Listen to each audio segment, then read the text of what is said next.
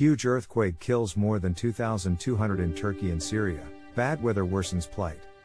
Those numbers are still expected to rise as rescuers comb through mountains of rubble and freezing.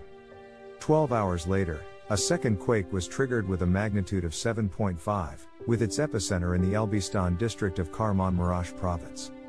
An official from Turkey's Disaster and Emergency Management Authority said it was not an aftershock and was independent from the earlier quake.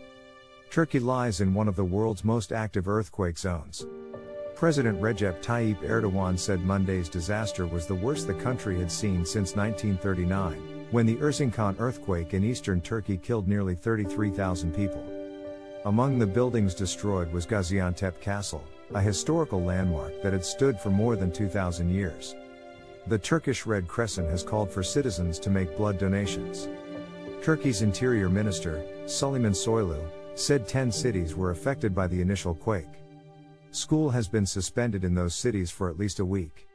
Hours after the first earthquake, a toddler was pulled from the rubble in Azaz, Syria, dirty and bloodied but alive.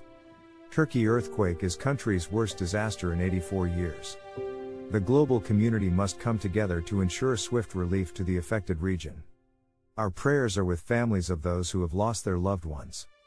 Thanks for watching.